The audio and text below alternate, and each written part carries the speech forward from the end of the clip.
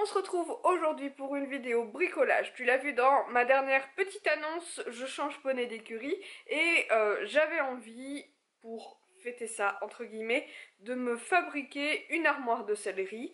Euh, enfin, plutôt de faire de la récup pour me faire un rangement céleri à mettre dans ma future écurie puisqu'il n'y a pas bah, de casier etc et euh, j'ai acheté tout un tas de bricoles que ce soit à Action, chez Jiffy ou euh, sur le bon coin pour pouvoir aménager cette petite armoire de céleri. Elle ne sera pas complète pour le moment puisque je dois faire une commande sur internet pour les porte-selles notamment mais en tout cas j'espère qu'on va bien l'avancer aujourd'hui, ça donnera une petite idée de la tronche entre guillemets qu'elle aura. Allez, c'est parti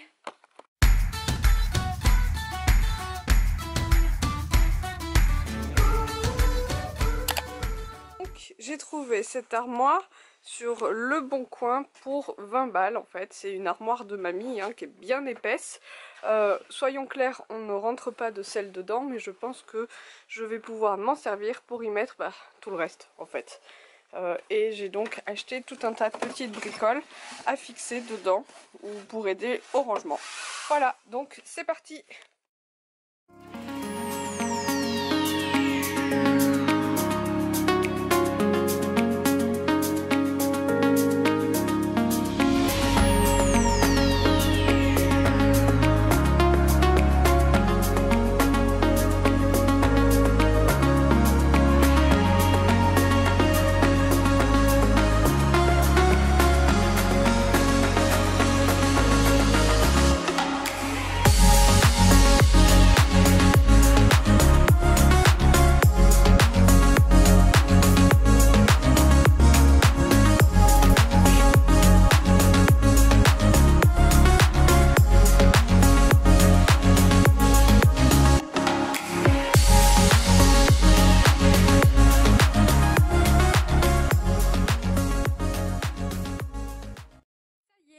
bricolage est terminé. Laisse-moi te présenter la petite armoire. Alors comme je disais, il manque euh, les porte-selles qu'on mettra de ce côté-là.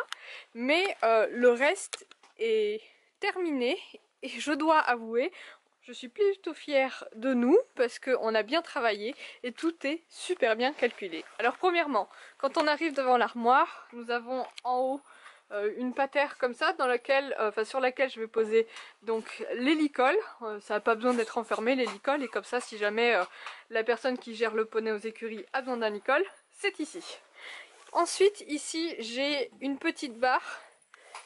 c'est un truc de salle de bain à la base et je mettrai par exemple les guêtres, les cloches, etc. qui sont en train de sécher. Voilà, faut pas que ce soit à l'intérieur, ça évite l'humidité. Et à l'intérieur, je vais te montrer. Et voilà à quoi ça ressemble. Donc là, j'ai mis un petit panier dans lequel je pourrais mettre des produits.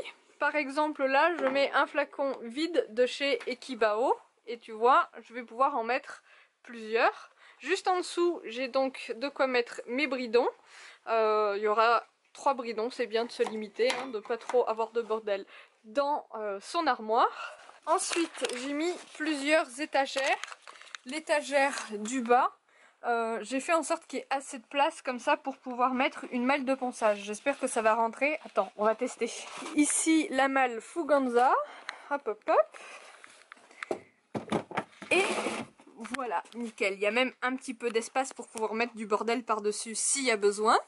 Ensuite, juste au-dessus, euh, j'ai pris des petites boîtes comme ça chez Action. J'en ai pris deux petites noires et deux grosses brises que je disposerai selon mes besoins.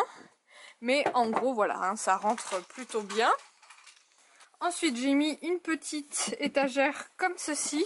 En fait, c'est une demi-étagère et voilà pourquoi je l'ai mise. Pour mettre le sac à casque ou le casque sans le sac, etc.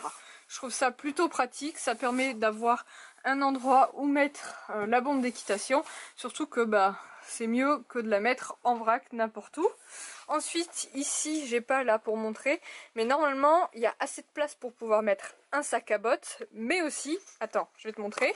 Peut-être faudra-t-il que je fasse un choix entre le sac à box et ça, mais je pense qu'il euh, y a moyen de moduler.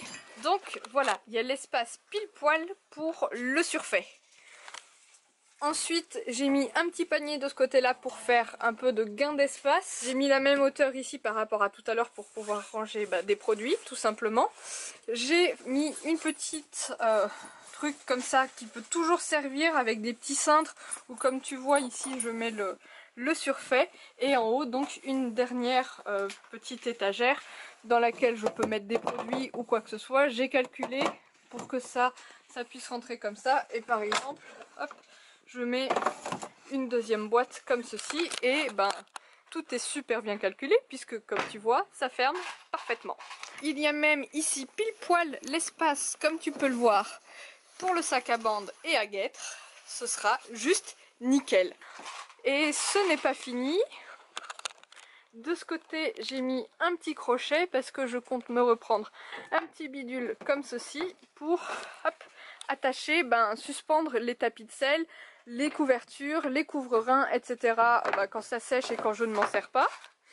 Et de l'autre côté, il y a donc aussi un petit crochet, pour pouvoir y mettre la sangle en fin de séance.